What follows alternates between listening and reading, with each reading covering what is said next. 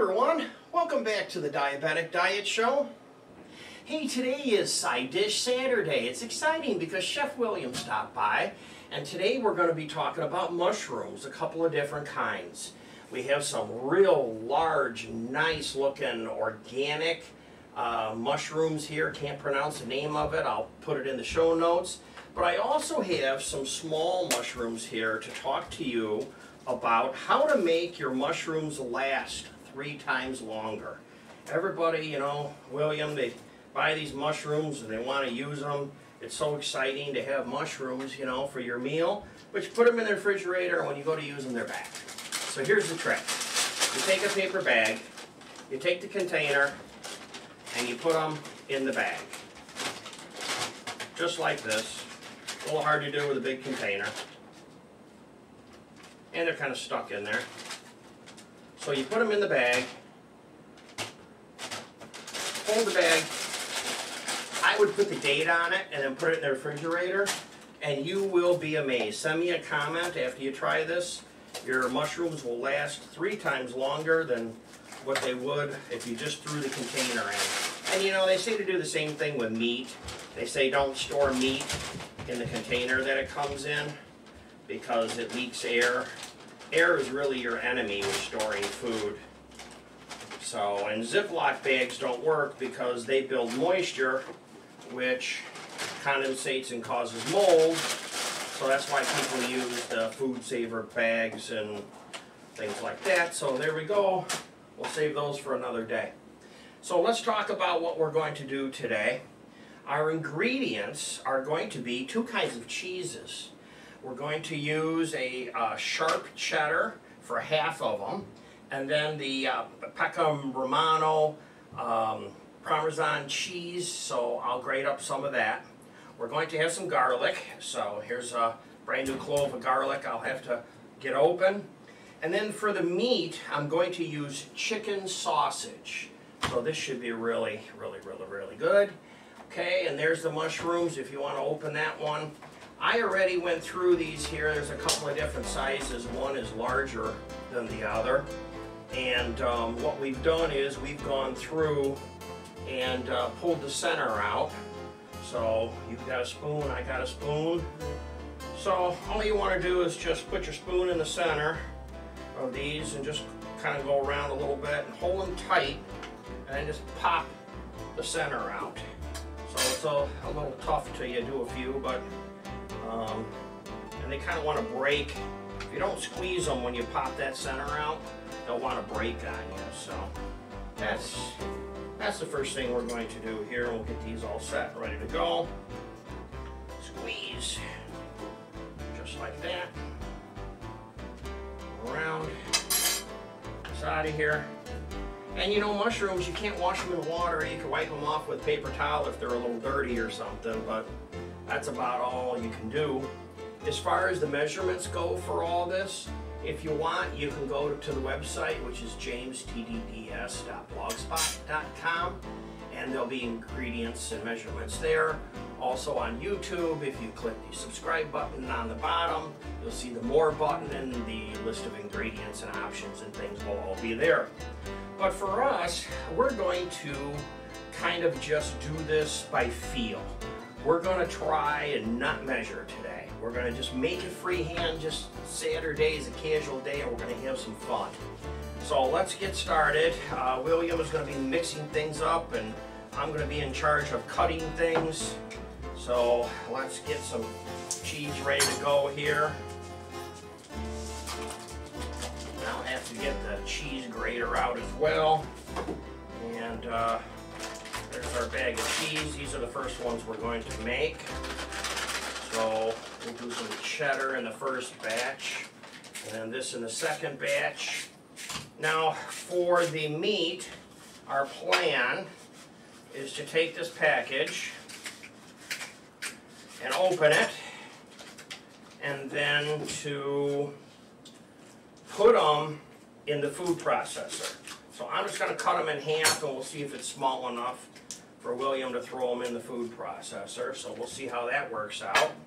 Now the garlic, this is a little tough. Getting the uh, brand new whole bulb opened up here. You need several of these. You know, I like to use three or four. So, here's three. There's a fourth one. Just like this. Could you grab a little clear container over there? Just how about something on the top? I got any little clear containers? Yeah, that's perfect right there. That's that's the one we needed. I don't need that anymore. So here's the garlic. And I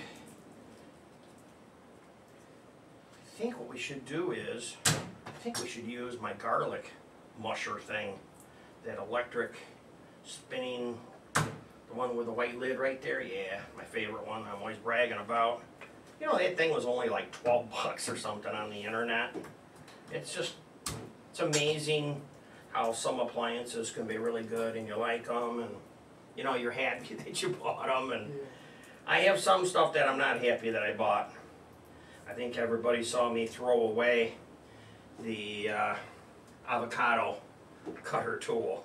That was that was a big fail. That thing went right in the trash can. So this is the easy way to do it here. And of course you can also use a garlic press if you want. But I like a little bit more chunky, so I think this is a good way. You want to push that button for a little bit there and let that run. Our breadcrumbs. They're all set and ready to go. All right, cool. So, you got it? Yeah, that's fine. Yeah, let's throw it in there. Throw it all in there. Okay, and then this, what I like to do with this, just go like this. That's sweet. Use your finger if you want. You washed your hands. We're good. And the cheese we're going to put in last. So, let's let's throw some of these. Let's try this. I don't know how many of these that thing's going to take. Why don't you try? Why don't you try putting in two first? Just kind of squeeze those little rascals in there, and let's try to make mush out of that sausage. And then uh, whatever we don't use for mushrooms, we'll just cook up and eat. That was pretty good, huh? Wow, one sausage makes a lot, doesn't it? Yeah, I'm surprised I didn't know it was gonna make that much. Hmm, how about that, huh? Okay. Set that on there like that. Wow. So we're only gonna probably need two sausages for, yeah, you know, one, one for each one, or, you know, that batch looks like you have enough. yeah. So why don't we split that batch? And but you want the For the um, cheese. Yeah. I have to grate the cheese. I gotta get a cheese grater. You need another bowl. and I need another mixing bowl. So I'm gonna go over here and I'm gonna get the cheese grater. Okay. If you would grab another mixing bowl right off the top shelf there. And let's split that out so we don't have so much. Now the cheese grater normally was right here in the bottom drawer. But grater might have migrated somewhere.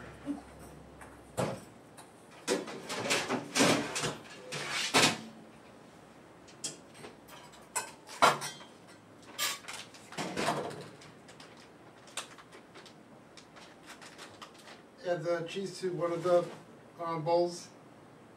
The cheddar. Y- Yeah.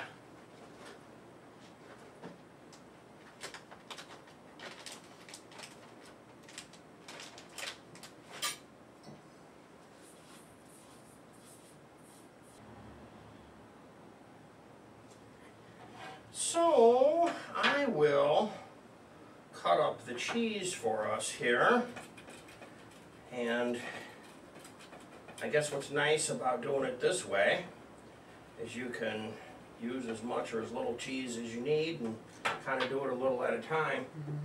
So, okay, so you're separating them. Yes, You got uh, some in one and some in the other. yes. Okay, so here you want some Parmesan? That's probably enough.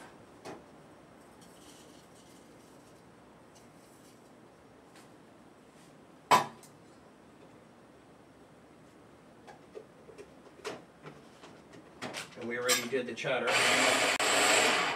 You know, one thing I noticed is, is that you can make this a little oily if you want, so that they stick by putting in more olive oil. So you can adjust your, your mix to how liquid or dry you want it by adjusting the, um, the olive oil. Okay, so shall we get a few of these things out of the way here and we can get working again? And you know, you can put other stuff in here too. Um, that can go over to your right, because you're already done with it, right? Did you put that in already? Um, do we need to put it on top of the? Yeah, we do. Yeah, you're right. Okay, you're right. All right, Well, I know it's a parsley, right? uh, done with the parsley, so there was a lid, and it's right here. Yeah, because this parsley, you know, it's, it's hard to buy parsley and it doesn't last. So, uh, salt and pepper, and, and you use those already, good, because they were brand new and I didn't test them to see how they work. That goes with that little grinder thing, so, and, uh, we're done with the cheese for now. Yes. Alright, cool. Wow, we're gonna be eating, we're gonna be eating mushrooms in no time. Okay, well, I guess we're ready to start putting them on there, huh? Should I move a few things and make room here for you to bring the baking dish over? That, huh? It. Sure, I'll get out of your way so you can do that.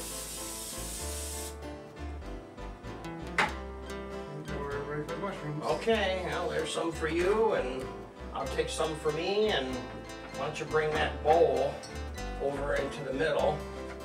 And, uh, actually, why don't I do this bowl and you do that bowl? How's that for a deal, huh? Sounds good. Okay. Just gonna fill these up just like this. This is pretty easy. I mean, on the scale of, you know, a lot of things that we make, more complex. And both of these have sausage in them now? Uh, yes. Okay, wow, that sausage ground up really well. We can just cook up the rest of that sausage and eat it with it. Look at that, huh? This is fun. I'm glad you stopped by today, William. You gotta come over more often. You're welcome. These look like they're gonna be amazing. Yeah. So we put these in the oven. We have to preheat the oven. Um, Yeah, okay, 400. Thanks, I couldn't remember. I was at a blank and don't have it loaded on the screen. So um, we're going to cook these uh, 400 degrees. So while you finish yours up, I'm going to uh, preheat the oven for us. And of course, don't forget the big important thing. Make sure there's nothing in the oven before you turn it on.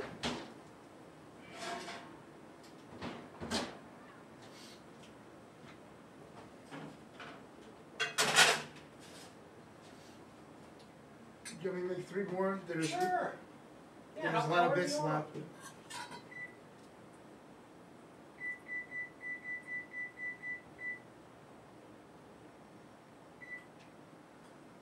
Okay. Barb has to be looking at these saying, those look real good.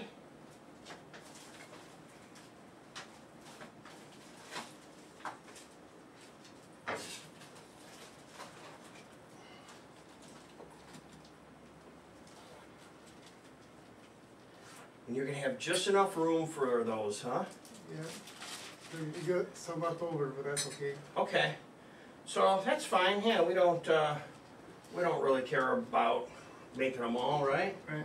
Um, we could, maybe we'll do something else with those other mushrooms. Maybe we'll experiment and do something with those. I'll put them, Put this in the oven. yeah, why don't you? Throw them in the oven. I have another little tin dish here.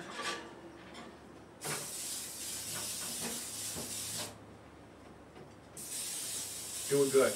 Do it well. Okay, so here's my, my next suggestion. My next suggestion is for the last three mushrooms, Yeah. we put both of them together, so you got two cheeses and three mushrooms. Give it a stir, and let's fill her up. And we'll do those on this tin sheet. There's one for each of us. Mm-hmm. So we'll taste, see how that works. We're inventing on the fly here. Pack it in, fill it up. We got a lot of that, huh? This is great for a side dish. This will go with any meal. And uh, they won't last long. This is like bacon. And by the way, you could put bacon in here if you wanted to, I suppose. I know William puts bacon on everything. How about that, huh? Okay, throw those in the oven too. We'll be right back as soon as these are cooked. There's the first one. That's the that's the little one that we did. Where's all the taste tests? Here's the big one. Oh, oh goodness! Look at that. Wow, They look great. amazing. And they, they smell really good too. Wow, that's crazy. So, what we're supposed to do, I guess, is to grab one of these very carefully. Come out here like this. So, here's what I'm going to do. I don't know which ones are which, so we're just going to basically taste these. This one here, we know this was this was different, so I'll set this one off to the side. Okay, and then we'll call this a done deal. So everybody, thank you for watching. This is our show for the day.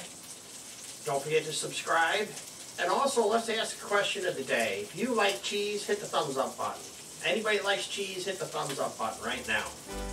Goodbye for now.